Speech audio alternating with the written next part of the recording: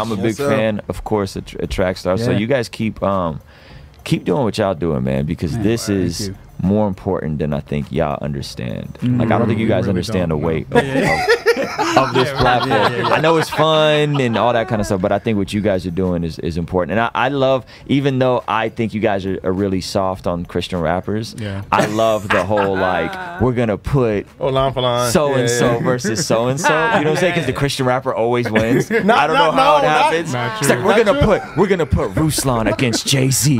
Go, Rus, Ruslan, Ruslan. We're, we're gonna put John Keith versus Kendrick Lamar. John Keith, hands down. We're gonna put Paul Russell against Childish Gambino. Paul Russell. Oh, so I think y'all be a little soft, but from an SEO standpoint, from an SEO standpoint, it's genius. It's genius. Yeah, I want to see more Christian rappers take L's on that. You need, though. they take L's. Objectively. You need to talk to these guys and tell them not to be so sensitive. Y'all did y'all did Dream Junkies versus Black Hippie and had us beat out Black Hippie. Wow. Hey, man. And I was like, come Votes on. don't lie, bro. Come on. You gotta talk to you gotta talk to YouTube. Honestly, big yeah.